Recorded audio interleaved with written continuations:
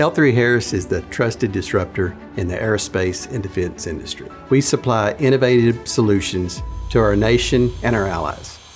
The parts we deliver are installed on our military aircraft. We have no option other than to keep safety and quality first.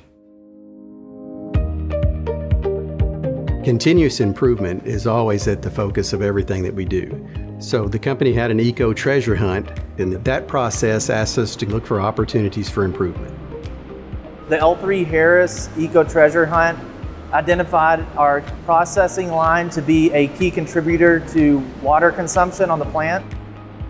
Our Alodine line is made up of several different chemicals that apply a anti-corrosive coating on the parts that end up on the airplane.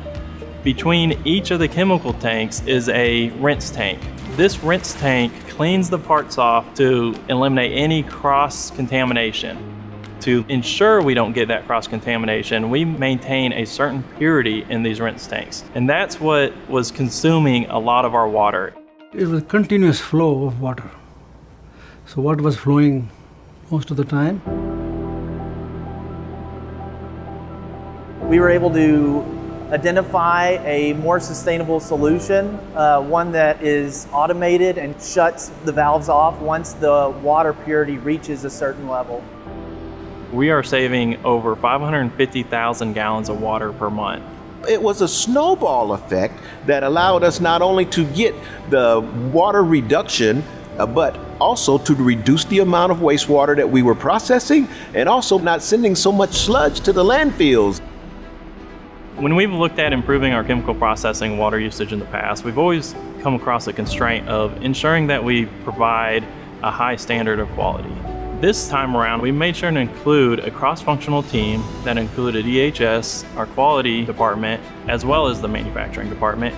And I think the common goal really solidified us on meeting everything we needed to meet with this project.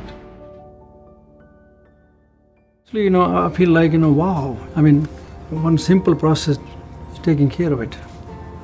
It's, to me, it sounds very incredible.